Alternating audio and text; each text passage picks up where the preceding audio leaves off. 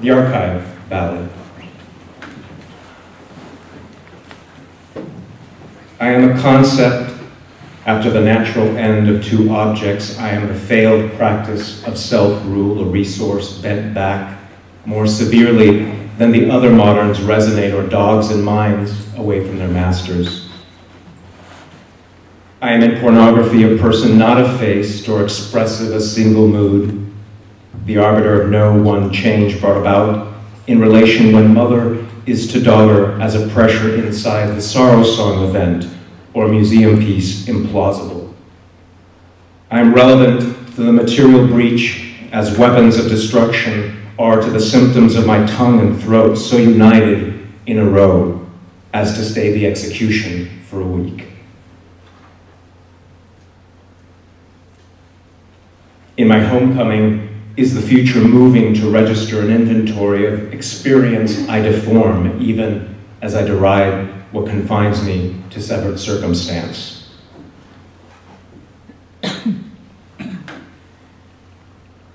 Piano wire of the last words said when it once led to ginger kissing any such son invisible to himself and fractious.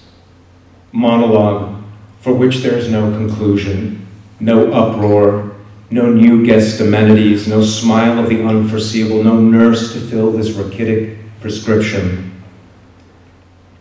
Eroded resource for public support, prosthetic extension of the media, engineer to employ me in this real and storied time, together as single and multiple channels for the moving image when this is written in the dark, when simulacra to surveillance as the secret cause was to history in duplicate original domain, and mind cure monument.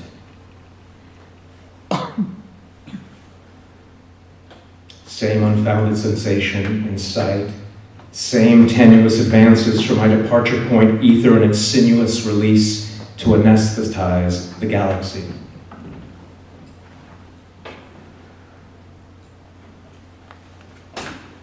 The intelligentsia of Los Angeles, a cloverleaf, is anathema to the industry composed of citizens so obsolete as to think the elements of consensus and fit are an act of translation, or the willingness to listen that allows for the true resolve, how many of us online and in rank, when it all functions at lower best.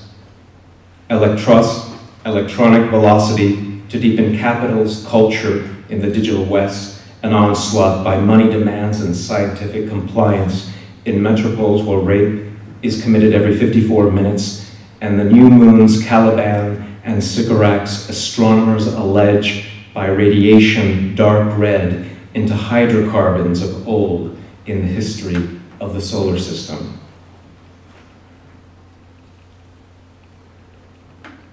The sunlight concern was with fraught amalgams of attributes, dislocated birthplace, weightless silver, for all the accounting exuberance.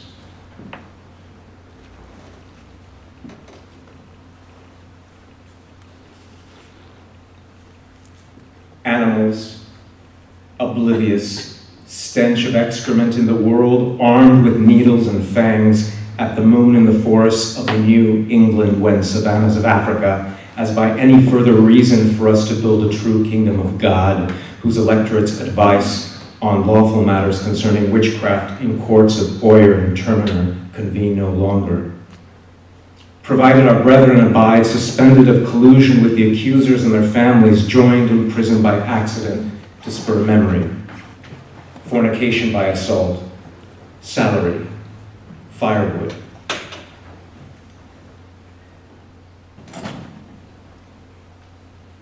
Source matrix of a prior illusion befitting the world now open to intimate apex on the horizon made present in objects rendered by mind over whereabouts.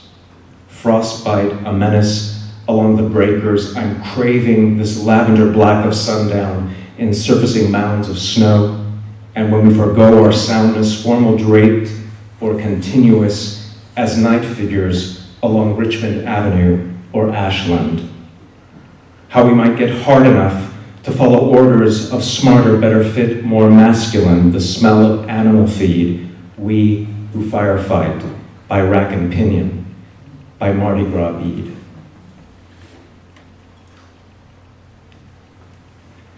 Was it already lost, always? First temper known to appear only in escape or distraction? What if long buried even as a half-hearted kindness?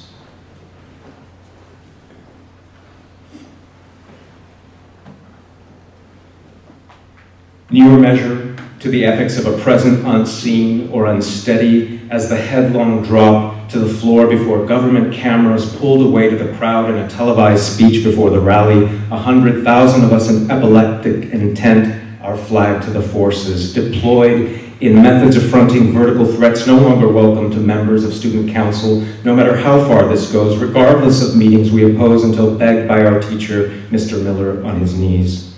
Signed, your friends, who can't even with laws in our favor, a chorus of weapons in skin-headed anthems, androgynous.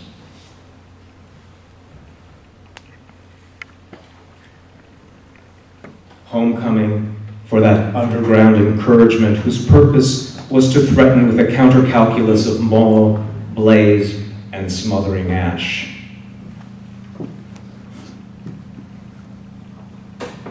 Field of material contentions and conflicts and dreams of radical equality, mark it by the name of liberal assets, unleashing in patterns uncontrolled, so lawless, a brutal concentration of wealth, a surplus, such magnitude of deprivation, ever thriving to be more dissatisfied or satisfied in a culture at odds, internal devoid of all patterns in civic life, neither tolerant democracy nor the promise of a unified collective wager will survive its sway as the final arbiter of the social good, prepared, all told, to safeguard the borders of external threats to our security, lingua franca in which this is written, embody the moral bind, include us all.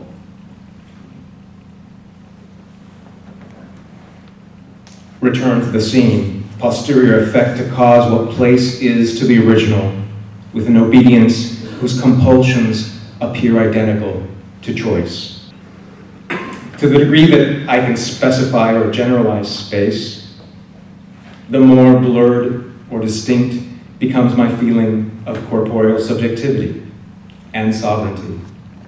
The fate of indulging in fantasy may so lead to such mimetic incorporation of the animate in the inanimate, and vice versa, as for me to reconfigure the possibilities of my environments.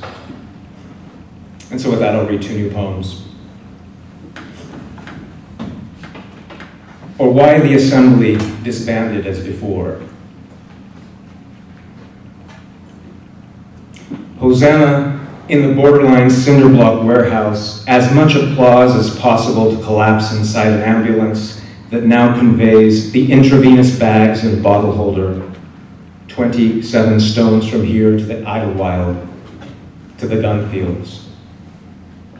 It's a place you find automaton nurses who labor in gray-green subterfuge in all-over stripes, a round of punches to the lower jaw for my part in the main. So I get it now. I'm the chosen one for reassignment, face so altered as to beguile. This is enemy convenient, a purview suitable to the very new cosmetic methods. Question is, the admin diazepam and other hypodermics were they counteractive or now consistent with enough cases as to compel canvassers to anticipate first signs of panic, sleepwalker antecedents, tray tables in upright positions, crushed ice out of open mouth, air-conditioned ward redolent of superstores and tattoo shops, or was it morphine sulfate and protocols applied to disable the congenital twins? Here's the world news to jump science prizes wax candy lips in tone of flawless, if always accented sentence. The kind of talking from another world where my mother was Marlo Thomas and there were rival techniques contributed to the celebrity of my seven-sided disappearance. Or was that all my enuresis when I doubled in size as from her pocketbook, adorable but already diminishing?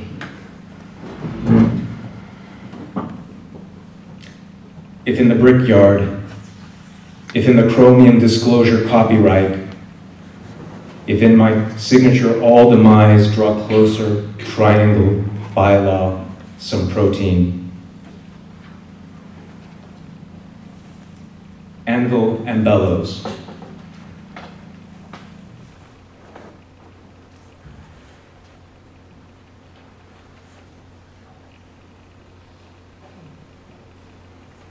In all manners, Mr. Tourniquet, intoned attention turning to my treatment, many times ignored, many times identical to the carbonate castle, many times in tribal paint, unbridled scuttlebutt stargaze, releasing childhood, palsied in germinal burst. Surface made of metal, Mrs. Skeleton, skeleton key. It's a cruel copy, tantamount to the emotion precinct, tantamount to the other story imprint, to the opposite self, complete with pigment, actually, archaic catalog of chattel and usufruct, whose characters include Professor Blind Eye Turning, Sister Bulletproof Jacket, Reverend Dead Man's Gully, Mr. Secretary General of the Global Farm Security. Birth lines intersect here with the turnstile attorneys whose testimony pictograms a tight timetable into gossip and gainsay the evidence of animals so menaced by what surrounds these laws with mindful hand and fodder as to inaugurate the weightless stranger brothering this imbursement with alleged methods that stain and stoke, that evermore extricate our ancestor from wonders one and all, the end. Then the final credits run with the life forms, and we stray either from intimacy or the accident part emerges between miniature movement and application, austerity and surface, superposition and plain, O river palms and clock face, stairwell and flagstone. Aspect of a method verily over landscape with gazebo adding Bethlehem rose, or clump green wax warmed layers of synthetic skin, meat muddled anniversary, involuntary bromide book bound to inlay the marriage of word paste and tooth pull domina, this minion font and frontage over putty in pages reproduced by lower quadrant anvil, vertical bellows and antelope in upward red, quick, quick, the syllables to stagger, the enumerated forethought, as when cobalt woodwinds issue silver pearls.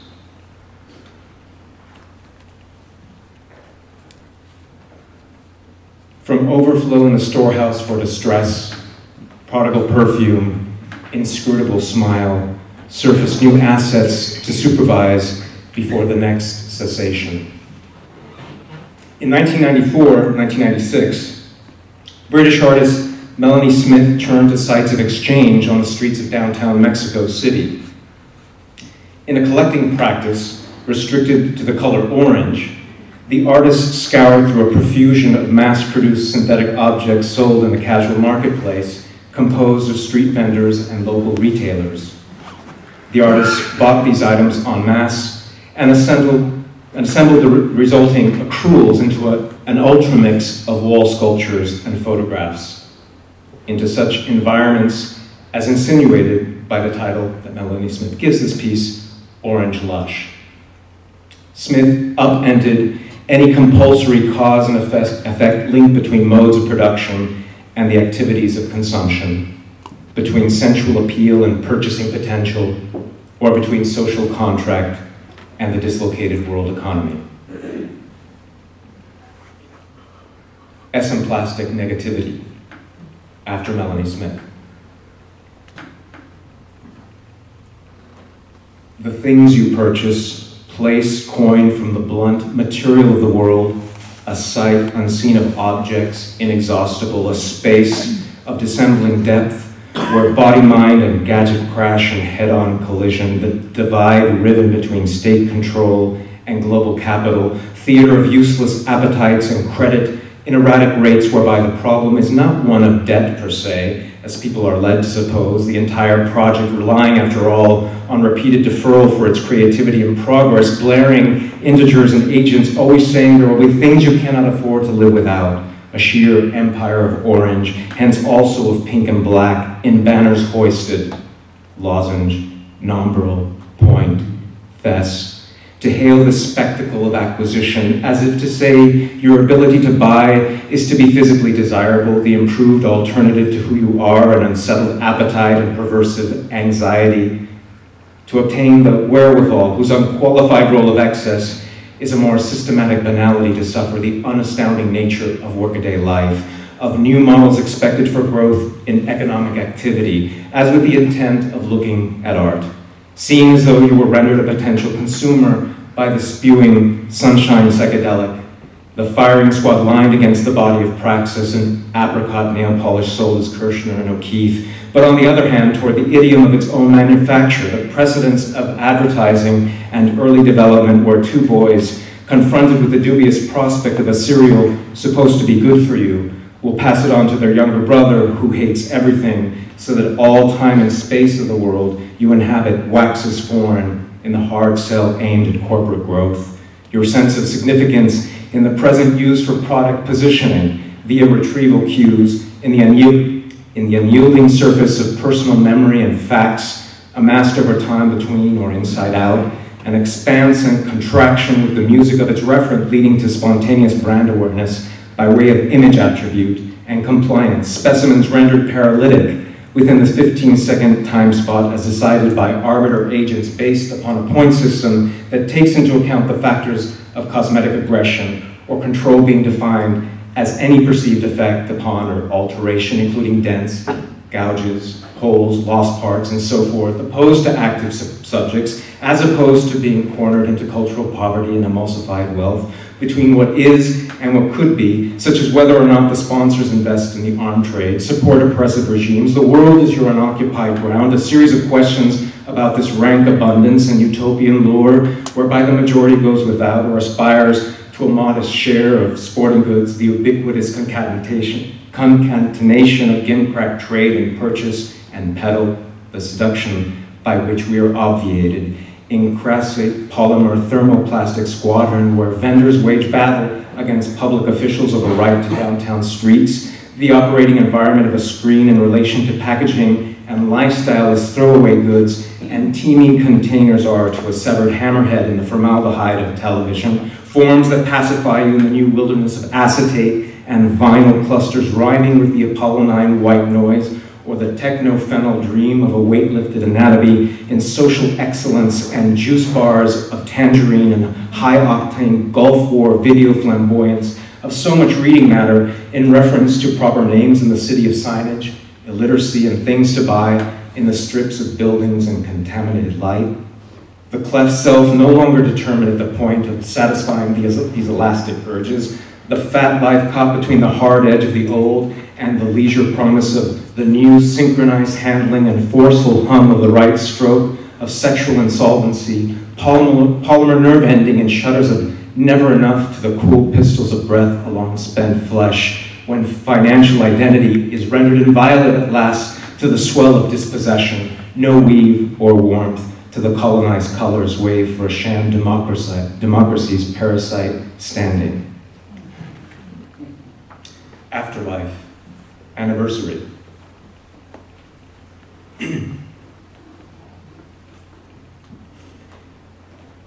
Where on the morning, day in duplicate, was I without picture to recall, day in sequence, Holy Ghost the telephone, ignoring the news, knows not, yes, that would be fitting, expedient, suitable, opportune, voice that begins with short hello, strong note, telling the item it stands for, speech, trained to commit, ease tension, state fact, curtail information with such gladness as to eclipse a surname, disembody mine.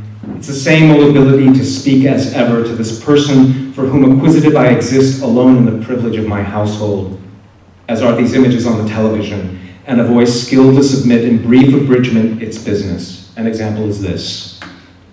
Expandable for greater versatility and with different features to match in a portfolio free of risk the key here, keep it compelling and to the point, creeping horror in real time of the unthinkable impact arriving in episodic bursts of chilling disbelief signified first by trembling floor, sharp eruptions, cracked windows, fireball through a building, actual, unfathomable realization of the gaping, flaming hole in the first of the tall towers, and then the same thing all over again in its twin for a hellmouth. As civility to breaking point, fastened to this other voice and spirals, listen closely to what I say. For either it is yes, I am with you now, or no, the city disintegrating, revulsion somewhere, now everywhere, nowhere safe, and there in the picture is our talking. It cannot cease. It plummets also down the side of the South Tower in free fall, a caller for whom the merciless sight of bodies helplessly tumbling out, some of them in flames, an example is this. It should have been enough for us to find me without recourse to oppose, but it wasn't. It wants me there, strapped between another transaction and catastrophe, like voice, for whose sake I who am nothing, like it without cease. An example is this Say the kingdom and all its dust and debris, all the money guaranteed in cataclysm on television, here together with me, our dividends in fourfold to enhance the here and after.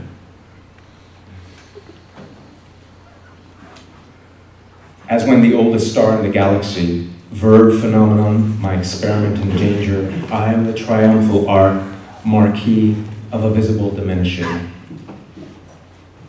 Vanishing. Amulets that share in a kinship in the histories of light and language. When I unite the number 9 to 27, the word tangerine to lemongrass, menospur to thistle, glimmer to this. Drive it fades. Splinter duration evanescing, double life conjured by vocables from a zone of repetition, its glow at the origin, vision contingent at the level, level of the letter, all things abrupt now, intermittent. Claims, singular, never less than overstatement, when I slip into view out of joint with experience, when attributes of bliss and cataclysm reside not in portentous totality, but in the ordinary detail, attention requisite for me to tell the narrative of sight and sound and transformation. Discrete words, a partial view. But even as I surface subject to predicate, at best a proposition, belated reason I am the cause of my thoughts. Why, in the domains of the ether, in the pharmacology of everyday matter, in the flattened contours, my singular life, a social statistic, is the charm not of narrative consequence, bestowed on me a script of action as to navigate the intangible space of so much undigested information. Rip in the web of meaning when I cast and draw. But owing to that gash, where to see is to know, am I careful in my unwanted thought, in desires for such a gesture as to embolden, persuade, limberness, untangle the strict partitions without hazard to the shell protective of all persons provisional in settings that reflect. I cover a ground. I quicken. I substitute the vanishing with constituent parts, regenerate, deprived of a halo, released from this fixity. Am I not without radiance of my convenient forgetting and everyday because it so beckons in the recurring custody of a world around whose mindfulness we congregate and over which we are inclined to argue. It was too quiet on the morning of January 3rd when I got up at 8 after a good night's sleep. Too quiet. I showered, dressed, then came downstairs and put some water on the boil for instant oatmeal. Peter always woke up very early. He would have been at work in his study, but there was no sign of his having breakfasted. I looked out the window and saw the New York Times still on the dri driveway in its bright blue plastic wrapper. Had he gone for a walk? I checked to see if his slippers were on the floor by the window seat where he usually left them when he went out. They weren't there. Why? The water was boiling. I poured it over the cereal, stirred it, then stopped. The house was so still. I called his name. No answer. Was he sick or had he overslept? I remember thinking I shouldn't eat until I was sure he was all right. We had a running joke that at 70, anything might happen. So if one of us didn't appear in the morning by 9, the other should check. I called his name again. Again, no answer. Maybe he didn't hear me because he was taking a shower. I went into his room. He was lying in bed with his eyes closed. I knew when I saw him with the CPAP mask over his mouth and nose and heard the whooshing sound of air blowing air that he wasn't asleep. No. Starting from nothing with nothing when everything else has been said. Oh, my very dear child, a holy and good God has covered us with a dark cloud. On April 3rd, 1758, Sarah Edwards wrote this in a journal to her daughter, Esther Edwards Burr, when she heard of Jonathan's sudden death in Princeton. For Sarah, all works of God are a kind of language or voice to instruct us in things pertaining to calling and confusion. I love to read her husband's analogies, metaphors, and similes. For Jonathan and Sarah, all rivers run into the sea, yet the sea is not full. So in general, there is always progress, as in the revolution of a wheel, and each soul comes upon the call of God in his word. I read words, but don't hear God in them. On the morning of January 2nd, we took the train into Manhattan to be part of my son's noon wedding at City Hall. That afternoon, we couldn't find seats together on the crowded peak hour Metro North from Grand Central, so we sat apart. It was dark when we arrived at New Haven and crossed the track for the shoreline connection to Guilford. When we got off, I walked quickly across the parking lot to the car. He followed more slowly. I wondered why, but it was so cold I didn't bother to look back. At home, we cooked up some vegetables and pasta. After dinner, he said he was tired and would go straight to bed. Oh, that we may kiss the rod and lay our hands on our mouths. The Lord has done it. He has made me adore his goodness that we had him so long. But my God lives and He has my heart. We are all given to God, and there I am and love to be. I admire the way thought contradicts feeling in Sarah's furiously calm letter. We can't be limited to just this anxious life. Somewhere I read that relations between sounds and objects, feelings and thoughts develop by association Language attaches to and envelops its reference without destroying or changing it, the way a cobweb catches a fly. Now putting bits of memory together, trying to pick out the good while doing away with the bad, I'm left with one overwhelming impression, the unpresentable violence of a negative double. He was lying with his head on his arm, the way I had often seen him lie asleep. I thought of Steerforth's drowned body in David Copperfield. Weird as I am, I did. also of the brutality of sending young children away to boarding school in order to forge important ties for future life. Though Steerforth is a sadistic character, his perfect name forms a second skin Something has to remain to rest a soul against stone.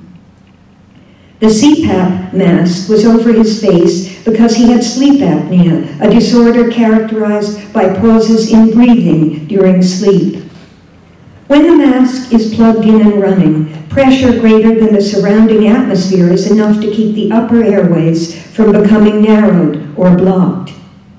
If he felt anything unusual, Surely he would have tried to remove the cumbersome thing. It was still running in place and fogged up. Land of darkness, or darkness itself, you shadow mouth. I've been reading some of Auden's The Sea and the Mirror. one beautiful sentence about the way we all reach and reach, but never touch. A skinny covering overspreads our bones, and our arms are thin wings.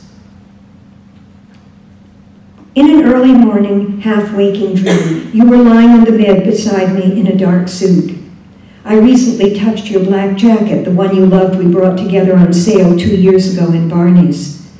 We were thinking about getting another this month because you had worn the original to pieces.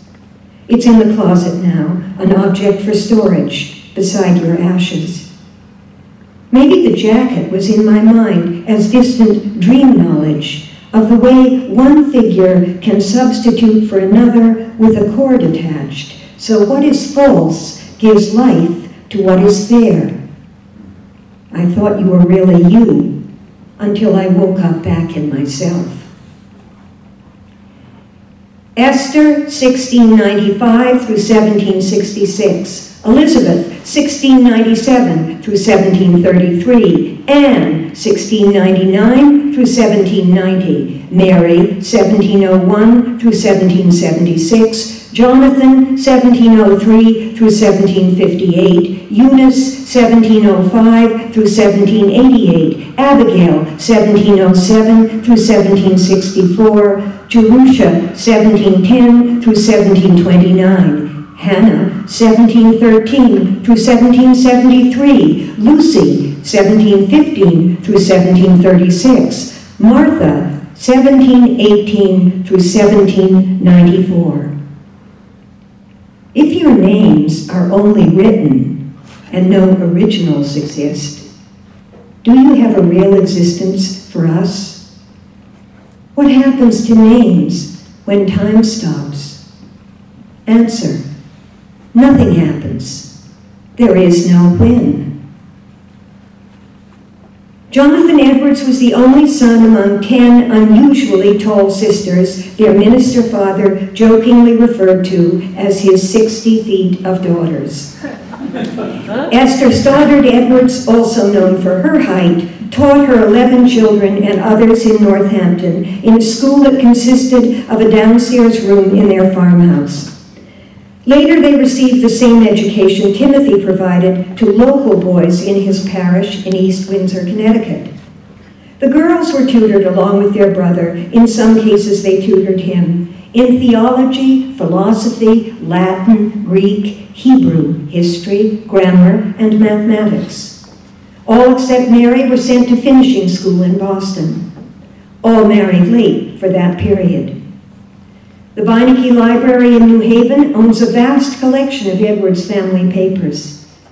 It contains letters, diaries, notebooks, essays, and more than 1,200 sermons. But apart from a journal kept by Esther Edwards Burr, and a few letters to and from the sisters, daughters, and Sarah, all that remains of this 18th century family's impressive tradition of female learning are a bed sheet Esther Stoddard Edwards probably spun and embroidered herself, Sarah's wedding dress fragment, and several pages from Hannah Edwards Wetmore's private writings, along with posthumous excerpts uh, collected and with collected and transcribed commentary by her daughter Lucy Wetmore Whittlesey. The Connecticut Historical Society in Hartford owns a fragment of Mary Edwards' crewel embroidery and a pair of silk shoes worked by Miss Hannah Edwards, daughter of the Reverend Timothy Edwards, wife of Seth Wetmore, Esquire of Middletown. Only tossing color coins into a well of language, while faces of magic contained in little stories outside the purview of philosophy scramble to help each other. Quid pro quo. C.O. Milford, PA, 1904. The way bleak north presents itself here as Heraclitan error, driving and driving thought and austerity nearer to lyricism, often as black ice. I wrote this poem on a winter day in 1998 when my mother was still alive and I hadn't met Peter. I had been reading Xerox copies of the last journal pages from the microform edition of the manuscripts of Charles Sanders Peirce. If you take immediate environment into account, during the winter of 1904, things were threadbare for the putative father of pragmatism. No peace in projects, no firewood for warmth. A few crotchety word lists used as ornaments or phantom limbs.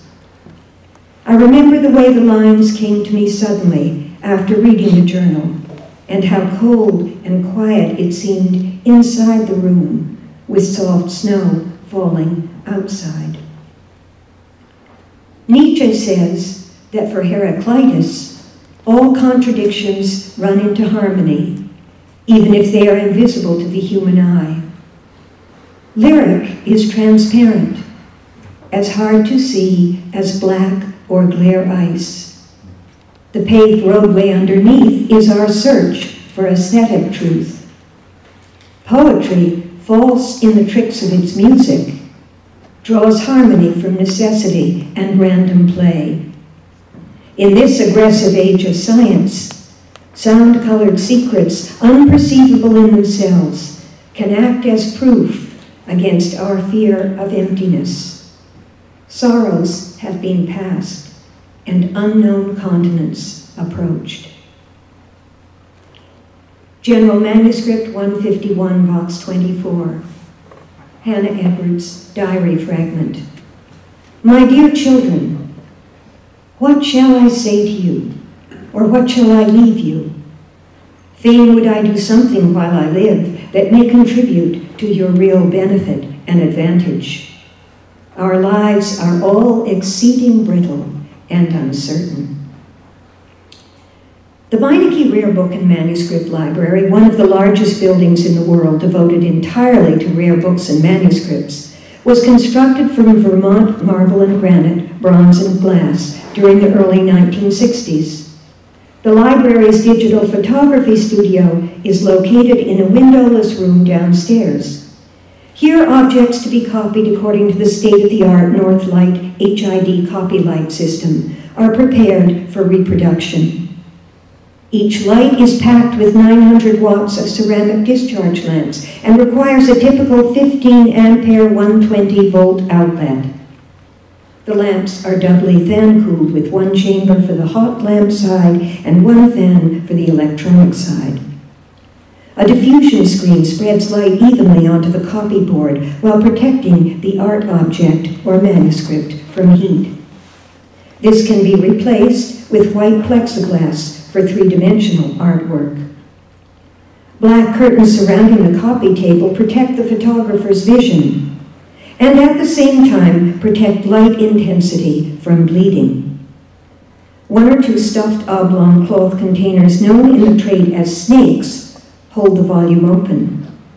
Facing pages are held down flat with transparent plastic strips.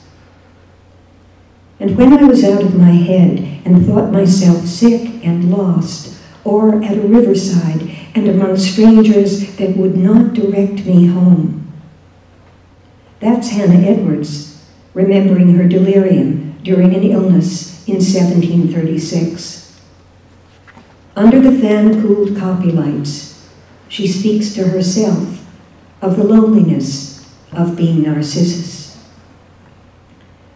On the Shoreline Express, I like to sit on the side where between Stony Creek and Guilford I can see my neighbor's house, and in winter, a little further up the road, catch a split-second glimpse of ours through the window as the train passes.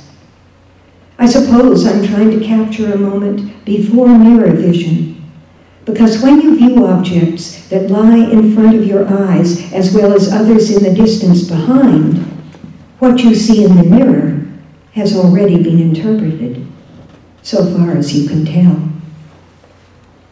More and more, I have the sense of being present at a point of absence where crossing centuries may prove to be like crossing languages. Sound waves. It's the difference between one stillness and another stillness. Even the invisible scotch tape I recently used when composing Frolic Architecture leaves traces on paper when I run each original sheet through the Canon copier. I can't remember if there was snow on the ground, but I do remember the cold. If winter landscape meets the being of the subject of the soul now and before, and conveys what is yours to join the finished pastoral invention of others, that is rationalism's secret. I don't pretend to be saying God has promised any new grace concerning our scheme being brought to pass via parables of lost sheep. No, not the least shadow association, even in the realm of wishes. Art is a mystery, artifice its form. Hannah has taken off her embroidered shoes. She is dipping her bare feet in varieties of light. Returning home, after only a day or two away, I often have the sense of intruding on infinite and finite local evocations and wonder how things are in relation to how they appear. This sixth sense of another reality, even in simplest objects, is what poets set out to show, but cannot once and for all. If there is an afterlife, then we still might. If not, not. And it has an epigraph from Emerson's Divinity School address into the beautiful meteor of the snow. That this book is a history of a shadow that is a shadow of me mystically, one in another another, another to subserve. Nent nga der om osk elan n a si in one no sun nor did the waxen Yet did the ear, the circumambent, her arms alone all, though there uh, could trip, air was dark, mm. all objects, wow, things strove.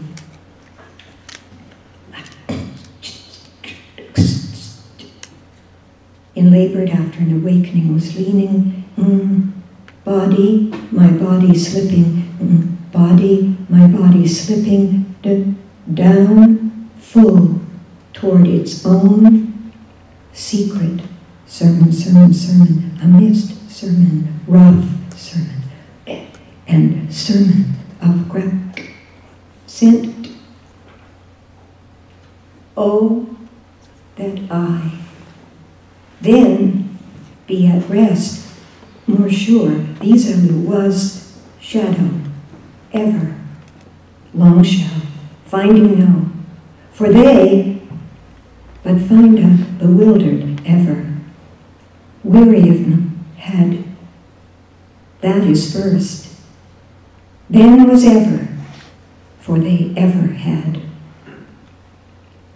Had the wings of a dove, but whither could I fly? Oh, and abiding portion and no ring, deceiving enjoyments. Where shall I find real? Oh, I wander from mountain, no. Oh, that I could find rest for the soul and weary myself walking just below my father's orchard after I, walking just below my father's orchard after I, religion and the concerns of my soul, my business, religion and the concerns of my soul, my business, strayed for and labored after an awakening sense of turn I had taken after I had taken up many rest, concerns of my business. And after I had set to it, and proud of um, sense of miserable, my miserable, with a great deal of concern sensible, I thought, oh, and negligent notwithstanding, in so old and, and um, over the south fence, and notwithstanding to be sensible then now, what made me cast in my mind whether I had not, but I certainly was unable to. Oh, I was leaning one chain of thought.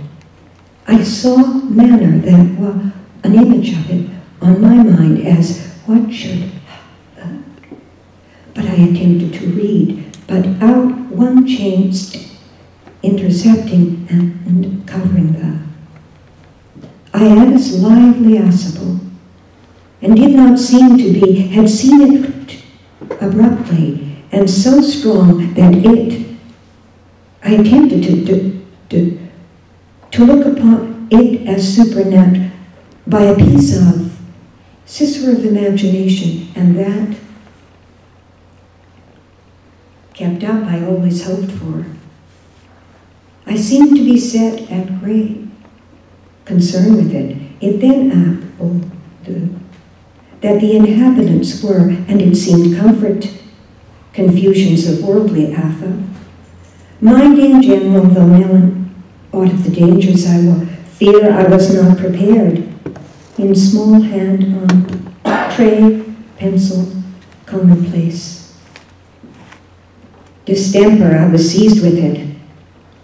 And Dara, wide dressed, cold, and found the live or for never. Opening the house door, she stood, hesitating whether she'll, whether set at great distance from this world. It then appeared to me a vain toilsome. The tents were strangely wandered, lost, and comfort to me that I was so separated worldly affairs by my present affliction, and although melancholy, was yet in a quiet frame, I was in. It was not without a deep, prepared for death, and I did set myself to belong to nobody, field and etc. The alterations which to produce the voices of a vast number of beings in the mind, and soon carried my ideas much into be very much ravished with it, and sometimes once had scarce any definite ideas. I hardly could have read the Bible. Felt like a wave in the air, held there by the something delirious, and sometimes soft, yet I was rational, and consulted with myself about in my imagination only have thought of. Wrote and the Romans too. On the other hand, world I used to be very felt soft, or in a sort, Ridley knew who or what I was, and thereby the music, uh, and therefore lost mm, I was. Consulted with myself about it, and was ready. pursuing shadows and things, shadows and things that I know are effect silk coats would have on agents in the field. He answered that could hide behind the silk in common with. Or what shall I say to you? If for to me that I was so separate, Tage, our lives are all exceeding brittle. Remember Lot's wife. something delirious and therefore lost. I was to a degree rational and consulted with myself about it and concluded it was in my 1379, 151, 1379, 1713, 1773, and, and indeed a sweetness and to Toulouse. But as I grew well, I natural to concern myself with to seek a love union with an immortal, out to be Cynthia, a symbol of light and of love and into ultimate mm, sklatia, stage, st, object, cove, the chief happiness and earth. What shall I leave to you, or what shall I say to you, as it were for the judgment of relations and connections of the imagination? Rivers by the law of most nations and by the natural is attributed to the proprieties of their banks, except as the Rhine or the Danube, which seem too large to follow to the property of the neighboring fields, yet even though considered as the property of that nation through which something while I live that may contribute bear them such a relation in the fancy, which are made to land bordering upon rivers, follow idioms, provided it be made by what they call alluvion, imperceptibly, which are circumstances that assist conjunction. Considerable portion torn at once from one bank and becomes not his property whose land it falls on till it until the trees and plants have spread their roots into thought does not um, distinguish between the necessity of the separations possession and the rules which assign particular persons the first necessity is obvious strong and in I remember the summer before my sister Jerusha's death, making. And I was leaning over the south fence and thinking in this manner that I was never likely to do better, and where should I go, etc.